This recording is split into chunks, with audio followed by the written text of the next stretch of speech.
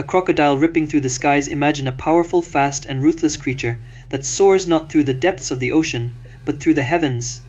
A monster that can not only rain fire down on its enemies from above, but also target ground objectives with astonishing precision. This monster is none other than the Kamov Ka-52, the Russian alligator, which has earned the title of the deadliest helicopter in the world. In this video we delve deep into the heart of this war machine and uncover the secrets of its power and efficiency. Has the K-52 truly, like a ferocious crocodile, achieved victory in the bloody battles of Ukraine? Join us as we answer this crucial question. The Kamov Ka-52, a colossal iron giant of the skies, is the culmination of decades of research and development by Russian engineers. Designed in the early 1990s with the goal of creating a powerful and agile attack helicopter. This bird of prey boasts a unique coaxial rotor design that grants it unparalleled maneuverability. However, like any weapon, the K-52 is not without its weaknesses. While its electronic warfare systems are advanced, they may be vulnerable to modern air defense systems. Additionally, the K-52's substantial weight and size limit its maneuverability in urban and forested environments. As an attack helicopter, the Kamov Ka-52 is equipped with a wide array of advanced weaponry to maximize its impact on the battlefield. The 30mm 2A42 autocannon serves as its primary weapon, capable of firing various types of ammunition, including armor-piercing and high-explosive rounds. Additionally, the K-52 can carry a variety of anti-tank, anti-air, and rocket-propelled missiles, allowing it to engage a wide range of ground and air targets.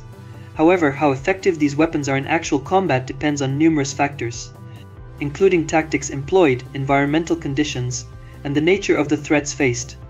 Evidence from the war in Ukraine suggests that the K-52 has successfully utilized its armament to support ground troops and destroy enemy targets. Nevertheless, like any weapon system, it remains vulnerable to modern threats such as advanced air defense systems. In the Ukraine war, the Kamov Ka-52 has faced significant challenges from Ukrainian air defense systems. Short-range missile systems like the Stinger and Igla, employed by Ukrainian armed forces and resistance groups, pose a substantial threat to the K-52. These systems can target attack helicopters at low to medium altitudes. Additionally, self-propelled artillery systems and stationary air defense systems, such as the Buk and S-300, can also pose a danger to the K-52. These systems offer a wider defensive coverage with longer ranges and the ability to track multiple targets.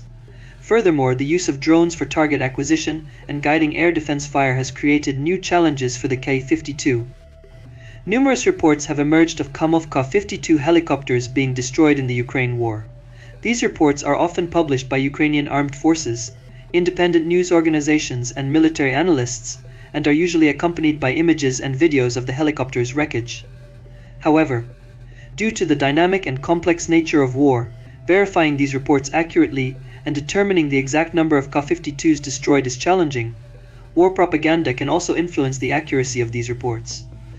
As both sides involved in the conflict often exaggerate their successes and downplay their failures, Therefore, to accurately assess the situation, it is necessary to consult multiple sources and independent analyses.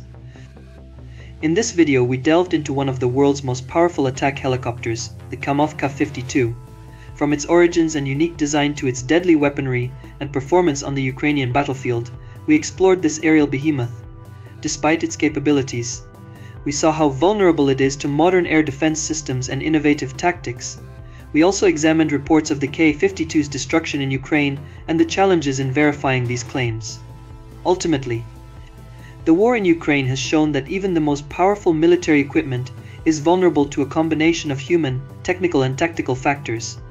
If you enjoyed this video, don't forget to subscribe to the Military Weapons 365 channel and support us by liking the video.